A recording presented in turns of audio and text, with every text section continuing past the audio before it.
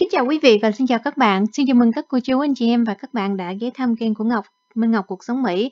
Hôm nay là ngày 5 tây tháng 10 năm 2020. Ngọc xin cập nhật à, tiếp tục những cái thông tin về tiền à, hỗ trợ à, vòng thứ hai từ liên bang đó là cái tấm chất ngàn hai tiền thất nghiệp rồi những cái khoản hỗ trợ khác. Đại khái là nó là một cái gói cứu trợ lần thứ hai và những cái thông tin về việc tổng thống Trump à, đã xuất viện hay chưa, những lời chỉ trích cũng như là những cái lời biện hộ dành cho tổng thống Trump thì Ngọc cũng xin chia sẻ. Ngọc chỉ là người đưa tin tức thôi. À, hy vọng là quý vị sẽ à, ủng hộ kênh kênh của Ngọc bằng cách like, share và đăng ký kênh mọi người nha.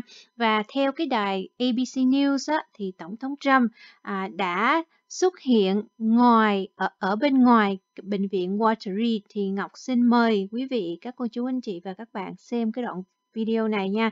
Đây là đoạn video Tổng thống Trump đi ra ngoài ngoài bệnh viện chỉ um, chút xíu thôi. Rồi uh, các bạn thấy đây là đoàn xe đưa Tổng thống Trump. Tổng thống Trump à, mặc một cái chiếc vest màu đậm, mặc cái áo trắng nhưng mà không có cà vạt ha. Chỉ có cái áo thôi, không có cà vạt. Đeo khẩu trang. Rồi những những cái người mà ngồi trong xe thấy quý vị thấy đeo khẩu trang mà giống như là, là giống như kiểu như N95 á Đó, một cái đoạn phim rất là ngắn thú vị và hiện giờ thì Tổng thống Trump đã xuất viện chưa? Câu trả lời á, là sáng hôm nay thì Ngọc cũng đính trích một chút xíu là hiện giờ Tổng thống Trump vẫn chưa xuất viện nha chị. Tại thời điểm bây giờ là 3 giờ chiều ngày à, 5 tây tháng 10 năm 2020, Tổng thống Trump vẫn chưa xuất viện. À, và có thể chiều hôm nay có thể là tin nó sẽ thay đổi nhưng mà hiện giờ à, ông chỉ rời Watery Medical Center tức là quân y viện đó quý vị. À, rời cái quân y viện đi một vòng chào dân, vẫy tay chào những cái người supporter, những cái người ủng hộ Tổng thống Trump nhưng mà ông chưa có xuất viện để trở về với tòa Bạch Ốc nha các bạn. Đó là tin sáng ngày hôm nay và tới cái thời điểm mà Ngọc làm video này vẫn chưa xuất viện. Thì Ngọc cũng xin trả lời cái câu hỏi này cũng như đến chính là cái video à, sáng hôm nay Ngọc làm. Và hiện giờ Tổng thống Trump à, nhận được rất là nhiều cái lời chỉ trích về cái sự liều lĩnh của ông khi mà ông rời khỏi à, bệnh viện đi ra ngoài. Khi mà đi ra ngoài như vậy thì ông phải tiếp xúc với nhiều người giống như là những cái người mật vụ nè, rồi đội ngũ chăm sóc sức khỏe ở bệnh viện theo ông trên những cái chiếc xe này. Thì những cái người này á phải cách ly trong vòng 14 ngày khi mà người ta làm cái việc này. À, thì rất là nhiều người những cái nhà bình luận những cái người bác sĩ à, người ta cho cái ý kiến và người ta cũng lên thấy ngọc thấy những cái video người ta nói á, là những cái điều này là không cần thiết và rất là liều lĩnh làm ảnh hưởng đến sự an toàn cũng như là sức khỏe của người khác.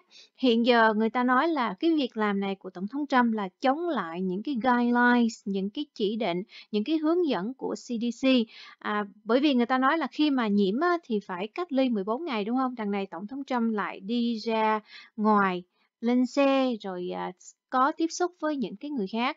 À, đó là những cái lời chỉ trích. Ngọc chỉ là người đưa tin thôi. Và hiện giờ người ta à, giống như là người ta nói là bây giờ bác sĩ chăm sóc cho bệnh nhân thì bác sĩ là người đưa ra những cái chỉ định cho người bệnh nhân phải thực hiện. À, nhưng mà nhiều ý kiến cho rằng có thể là Tổng thống Trump lại ra lệnh ngược lại cho bác sĩ phải làm theo cái ý muốn của ông. Thì đó là những cái lời chỉ trích Ngọc xin phép dịch lại thôi.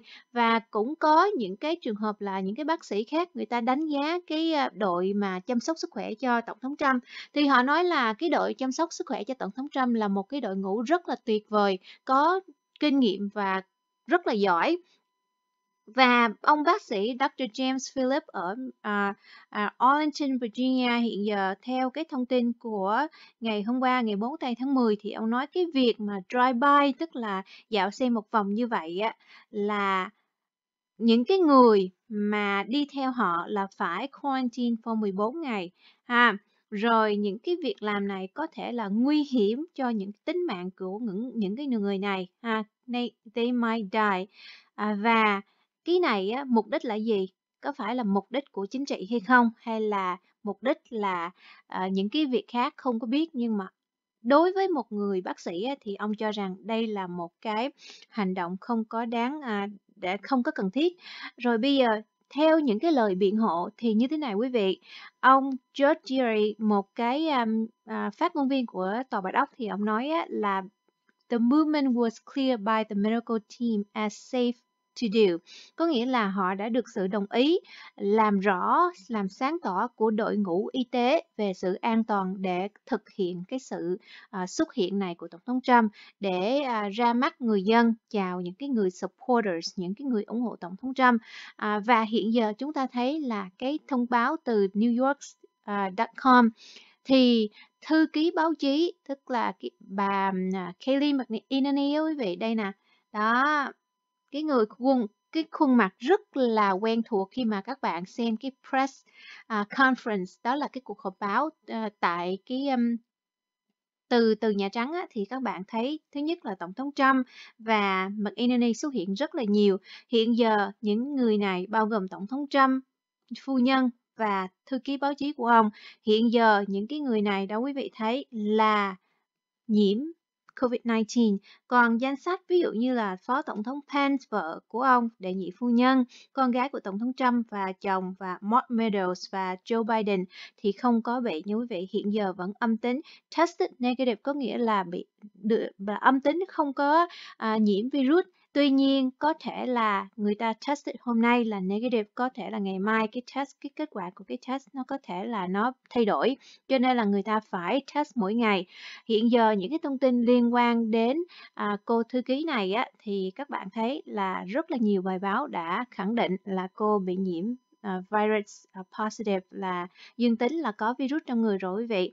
Và quý vị biết là cái sự việc này nó diễn ra từ cái lúc uh, mà không biết là Tổng thống Trump nhiễm khi nào nhưng mà những cái người mà dự buổi tiệc để đề cử bà Amy Barrett để làm à, cái cái gọi là gì ta? Ứng cử viên à, thẩm phán của tòa án tối cao đối vị thì tại vườn hồng Rose Garden thì đã tổ chức một cái buổi tiệc.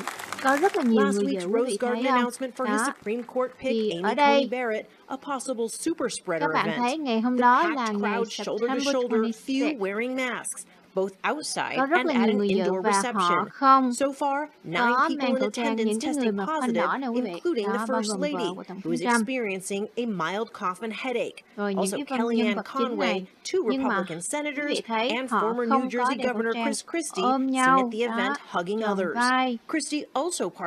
Và đây là tổng thống Trump tham dự cái cuộc à, first debate À, như vậy thì rất là nhiều người họ lên án là những cái người mà dự buổi tiệc này đều là không có đeo khẩu trang và à, 9 người trong cái buổi tiệc này đã tested positive bị nhiễm COVID-19 thì chúng ta thấy là à, cái việc mà đeo khẩu trang hay không là bị rất là nhiều người chỉ trích là vì sao những cái người đại diện cho đảng Cộng Hòa không có đeo khẩu trang.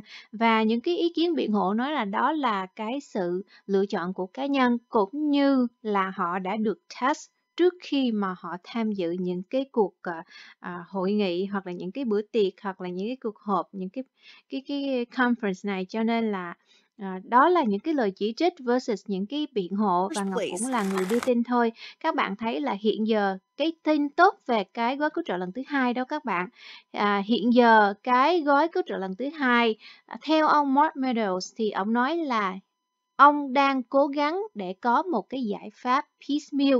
Giải pháp này là gì quý vị? Giải pháp này có nghĩa là gì? Những gì mà dân cần trước thì sẽ cho trước những gì ví dụ như là bên USPS người ta cần thì thông qua trước rồi những cái uh, hỗ trợ cho hàng không airlines thì thông qua trước hiện giờ đây là những cái lời ông Mark Meadows ông nói nè đó Tổng thống Trump thúc đẩy cái gói cứu trợ lần thứ hai này à, để mọi người có thể làm việc với nhau get it done. À, để có một cái sự thỏa thuận giữa hai bên. Nhưng mà phải um, xem xét lại con số phải có trách nhiệm về cái tài chính của quốc gia. Bởi vì hiện giờ là Mỹ là nợ rất nhiều đúng không các bạn? Cho nên là hiện giờ người ta vẫn bàn bạc với nhau chúng ta nói rằng đây là cái gói cứu trợ lần thứ hai thôi dẹp đi bỏ đi đừng có nói tới nó nữa không có gì đâu. Nhưng mà Ngọc Ngọc vẫn hy vọng bởi vì họ vẫn gặp nhau để tiếp tục đàm phán. Và quý vị thấy á, hôm nay Pelosi và Mnuchin vẫn nói chuyện với nhau khoảng 1 giờ thì sáng hôm nay khoảng 11 giờ 30 phút ngày 5 tây tháng 10 thì họ gọi nhau nói chuyện và hẹn gặp lại ngày mai nói chuyện tiếp. Nhưng mà cái kết quả thì vẫn chưa có một cái sự thỏa thuận nào nha các bạn. À, và Ngọc cũng xin tạm dừng ở cái ở đây về cái video chia sẻ về những cái lời bình luận, à, những cái lời chỉ trích, phê bình cũng như là những cái tin tốt về gói cứu trợ lần hai. Khi nào mà người ta nói là Thượng viện không thông qua hay là gói này là hủy bỏ rồi thì khi đó mình mới ngừng. À, bây giờ vẫn còn hy vọng các bạn, cái quá trình đàm phán vẫn còn thì mình vẫn còn hy vọng. Đó là một cái tin tốt bởi vì Mnuchin và Pelosi quay trở lại đàm phán nè. Mott Meadows cũng nói là bây giờ nếu như mà cái gói cứu trợ lần thứ hai không thông qua được á, thì bây giờ mình chia nhỏ ra, mình làm piecemeal, cái nào trước thì mình chắc chắc nhỏ ra. Ví dụ như Nancy Pelosi nói là à, bà đã à, lên tiếng là sẽ làm một cái gói riêng cho airlines thôi, cho nên là cái piecemeal và standalone bill á, nó cũng gần gần giống nhau. Và từ lâu rồi Bộ trưởng Bộ Ngân khối Steven Mnuchin đã ủng hộ cái piecemeal rồi, cho nên là Ngọc hy vọng người ta sẽ làm những cái gói nhỏ, nếu không thì có thể là Tổng thống Trump sẽ ký những cái gì đó là nhỏ nhỏ thôi. Và Ngọc cũng hy vọng là mọi người sẽ like, share, ủng hộ kênh mọi người nha. Bye bye now.